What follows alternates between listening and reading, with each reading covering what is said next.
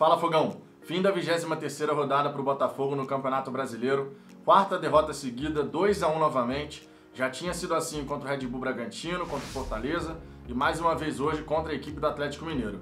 Numa partida que, sinceramente falando, o Botafogo só decidiu entrar no jogo para tentar fazer alguma coisa depois de estar perdendo por 2 a 0. E quando a gente tem um time que está na situação que o Botafogo se encontra, em penúltimo lugar, afundado na zona do rebaixamento, e esse time deixa para entrar no jogo depois de estar perdendo por 2 a 0, sendo muito honesto, o Botafogo merece cair. A torcida do Botafogo não merece passar por isso novamente. Mas esse grupo de jogadores que estão vestindo a camisa do Botafogo, esse grupo de jogadores merece a segunda divisão. A gente tem que ser muito honesto em relação a isso. É muito chato ter que admitir isso, é muito dolorido você falar que o Botafogo está caminhando a passos largos para a segunda divisão pela terceira vez na sua história, mas não tem como a gente negar esse fato. O time entrou na partida completamente covarde, tá? Uma coisa é você cair tentando jogar futebol. É você cair lutando, batalhando, brigando por cada bola, por cada jogada, por cada centímetro dentro do campo de jogo. Outra coisa é você cair sendo covarde. É você cair sem lutar. E é isso que a equipe do Botafogo nesse momento está fazendo que a gente fez na primeira etapa contra o Atlético Mineiro hoje foi absolutamente ridículo. Foi o cúmulo da covardia de um elenco que não sabe o que fazer com a bola. De um elenco que não joga futebol, não pratica futebol. Porque o que o time do Botafogo faz é outra coisa. Jogar futebol definitivamente não é algo que esse grupo de jogadores do Botafogo tenta fazer, procura fazer. Você vê no Campeonato Brasileiro equipes tão fracas quanto a do Botafogo, mas que buscam praticar futebol, que agridem os seus adversários, que tentam chegar no ataque, que tentam construir e fazer os seus gols. Você vê equipes aí com 28, 27, 29 pontos, que tem equipes tão fracas quanto a do Botafogo, mas que se empenham para poder chegar ao gol. O Botafogo simplesmente não sabe o que fazer com a posse da bola. Tanto é que nessa partida contra o Atlético Mineiro, onde era muito natural você vê o time do Botafogo buscar os corredores laterais para tentar escapar, eu inclusive comentei isso aqui no pré-jogo, quem assistiu ao pré-jogo aqui no canal sabe disso.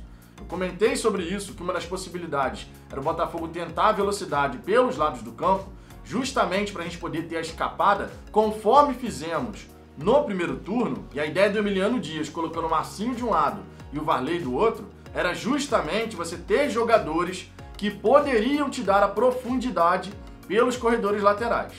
Só que não adianta você querer jogar de forma reativa e só três jogadores do seu time, de 10 jogadores de linha, tentarem pisar no campo de ataque. Para não dizer que só foram três, eu vou dar o crédito aqui ao Caio Alexandre, que pode ter faltado futebol, pode ter faltado um monte de coisa, mas o garoto correu de um lado para o outro, se esforçando para tentar fazer alguma coisa. O Varley a mesma coisa. Pode ter faltado futebol, pode ter faltado qualidade, mas o tempo inteiro correndo, tentando ser a válvula de escape. Agora o restante do time, pelo amor de Deus, a gente não merece assistir o que a gente está assistindo. Nova falha do Vitor Luiz, ficou admirando a jogada do Atlético Mineiro no primeiro gol. Nova falha do Benevenuto, que simplesmente deixou o Sacha ficar completamente livre nas suas costas dentro da área. E mais uma vez, a equipe do Botafogo como um todo não consegue anular as principais peças do time adversário. O que, que eu comentei aqui no pré-jogo dessa partida?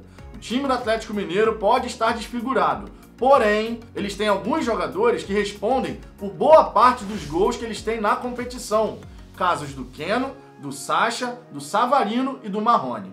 Quem começou jogando foi o Savarino no lugar do Marrone, porque o Savarino era dúvida ainda. Mas os gols do Atlético Mineiro saíram com todos esses jogadores, com exceção do Marrone, participando das jogadas. O Botafogo sabia como o Atlético Mineiro ia buscar chegar ao gol. Era com Keno, com Sacha e com Savarino.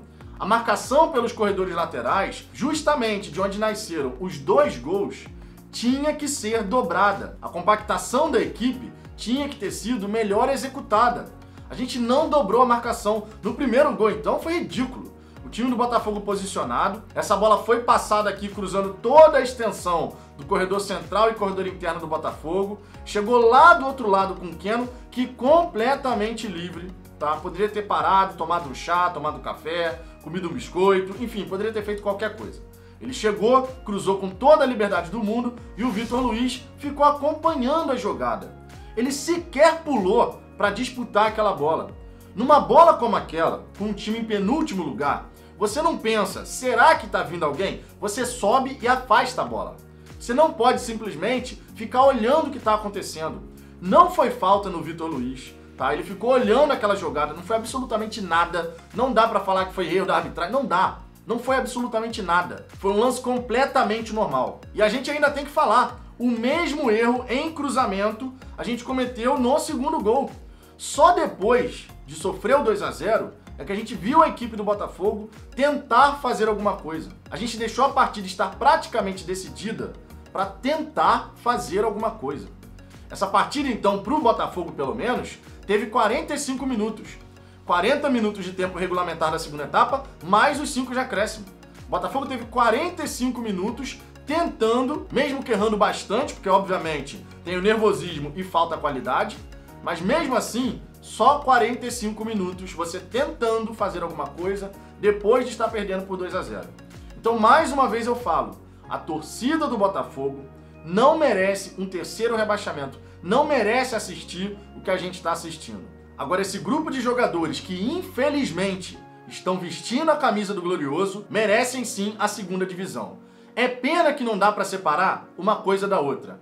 É pena que esses jogadores não podem cair e o Botafogo permanecer. Isso é uma pena, porque sinceramente, a instituição Botafogo, a torcida do Botafogo, não merece isso. Não merece mesmo. E nessa hora, a gente tem que sempre lembrar dos responsáveis. Os responsáveis não é a comissão técnica que chegou agora. Não foi essa comissão técnica que montou esse elenco. Não foi essa comissão técnica que manteve um preparador físico que não fazia absolutamente nada, tá? A parte física do Botafogo era uma piada, tá? Com capela.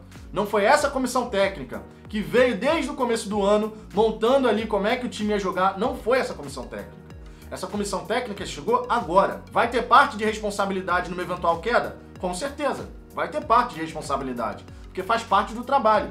Agora, a culpa principal vai ser dessa comissão técnica? Negativo. A culpa principal são dos dirigentes. E a gente nunca pode esquecer os nomes. Tivemos eleição ontem, tem um novo presidente que vai assumir a partir de 1 de janeiro, mas a gente nunca pode esquecer os nomes.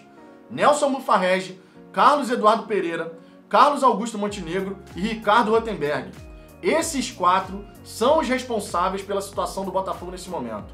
Os jogadores só estão aqui no Botafogo porque alguém os contratou. Eles não chegaram no Botafogo e falaram, vou jogar no Botafogo. Alguém contratou. Então a gente tem que ser muito realista na hora de avaliar a situação. É uma pena que a gente vai vendo. A torcida do Botafogo passar por isso novamente é realmente inadmissível. Mas infelizmente a gente vai vendo o Botafogo a passos largos abraçar a ideia da Série B. E a impressão que me deu nesse primeiro tempo da partida de hoje foi que o time já abraçou essa ideia. E isso, sinceramente, é ridículo. Enfim, um time com uma postura covarde, que não mostra poder de reação e que cada vez mais vai se aproximando da segunda divisão em 2021. É uma pena, a gente não merecia passar por isso novamente. Mas e você, Fogão? O que você pensa a respeito dessa partida, desse elenco, dos dirigentes, enfim, de tudo que está acontecendo com o Botafogo?